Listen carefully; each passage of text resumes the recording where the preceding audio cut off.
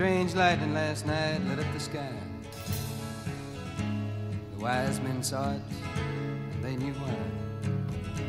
The signs and the omens are everywhere. But too few see them, too few even care.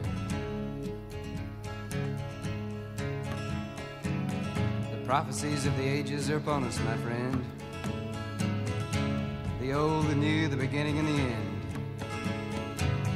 The horsemen are riding, even as we sleep. And light years they've come with promises, promises to keep. Some say ice, some say fire. All speak of animal desire.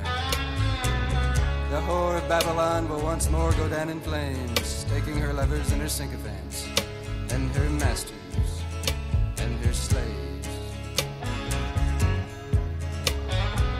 There will be wailing and gnashing of teeth.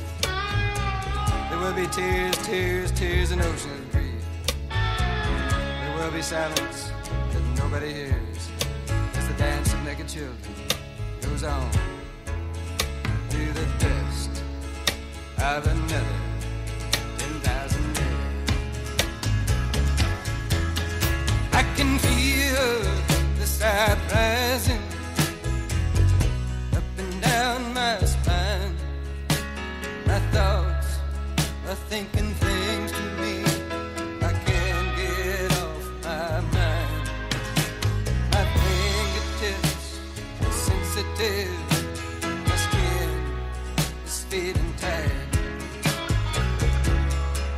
Must be a sexual